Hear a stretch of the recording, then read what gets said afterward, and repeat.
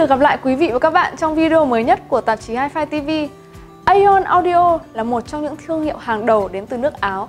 Thương hiệu này nổi tiếng bởi những chiếc âm ly đèn cực kỳ đồ sộ, các thiết bị nguồn phát như đầu CD hay Network Streamer Hybrid sử dụng bóng đèn điện tử ở tầng đầu ra.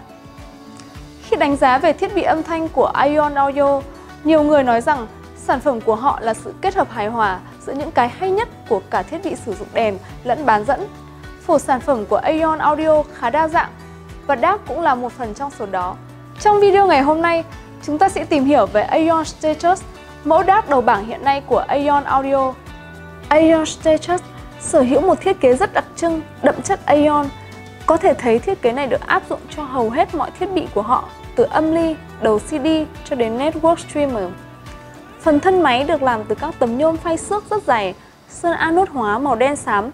Trên tấm mặt đỉnh cỗ máy, ở hai bên cạnh là các lỗ thoát hơi được cắt khá lớn, sau đó ốp lưới kim loại màu chrome ở phía dưới. Thiết kế mặt trước được làm rất đơn giản, chỉ có hai núm xoay mạ chrome cỡ lớn, một là để chỉnh âm lượng và một là để chọn cổng đầu vào. Giữa chúng là một màn hình LED ma trận khá lớn với chữ màu đỏ rất quen thuộc. Màn hình này cho biết nguồn đầu vào sử dụng cũng như mức âm lượng hiện tại. Bên cạnh màn hình chính là một màn hình phụ nhỏ hơn rất nhiều, cho biết loại tín hiệu đầu vào DSD hoặc PCM, bộ lọc đang sử dụng và tần số lấy mẫu đích mà tín hiệu gốc được nâng lên. Khả năng điều khiển của chiếc DAC này khá tiện lợi do đi kèm với máy là một điều khiển cầm tay RC6A bằng nhôm rất chắc chắn. Đây là loại điều khiển đa nhiệm, có thể dùng để điều khiển preamp, âm ly tích hợp, DAC hay đầu CD từ Aeon Audio.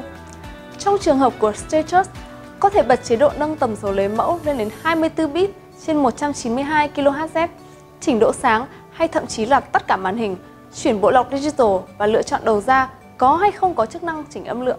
Nếu như phần mặt trước khá đơn giản thì phía sau của Stretcher lại không như vậy.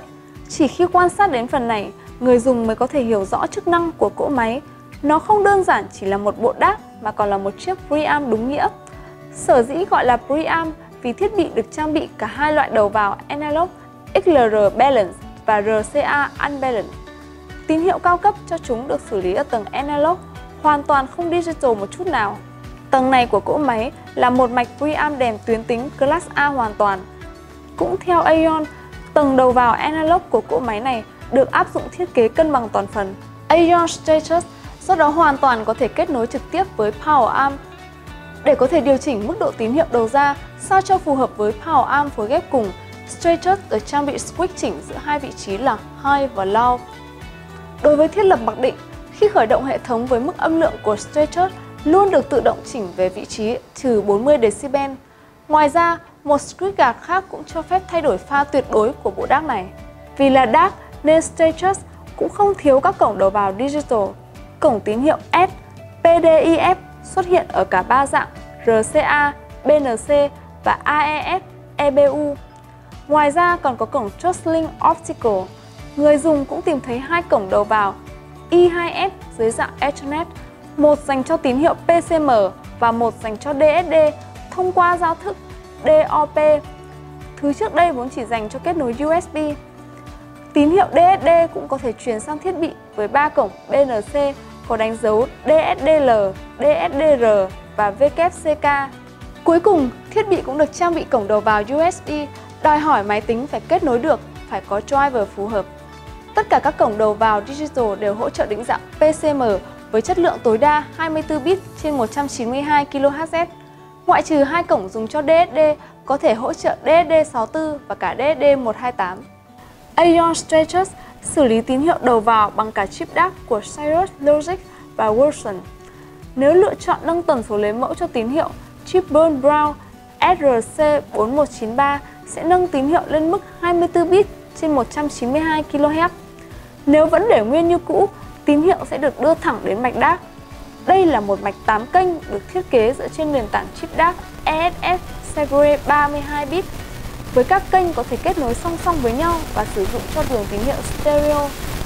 GHH, chủ sở hữu của Aeon Audio, thậm chí còn tiến xa hơn khi sử dụng tới hai mạch DAC như vậy, mỗi mạch trong một kênh. Như vậy, đây thậm chí còn là một cỗ máy với cấu trúc dual mono. Nhiệm vụ lọc và chuyển EU được giao cho IC Analog Device AD797. Các linh kiện thụ động bên trong cỗ máy này đều là loại cực kỳ chất lượng. Chúng ta có thể kể đến một số món như điện trở IBA hay tụ điện Sanyo với vỏ màu tím vốn được trang bị cho mạch đác của những thiết bị digital cao cấp nhất. Bộ giải mã Aeon Status sở hữu một thiết kế cực kỳ ấn tượng.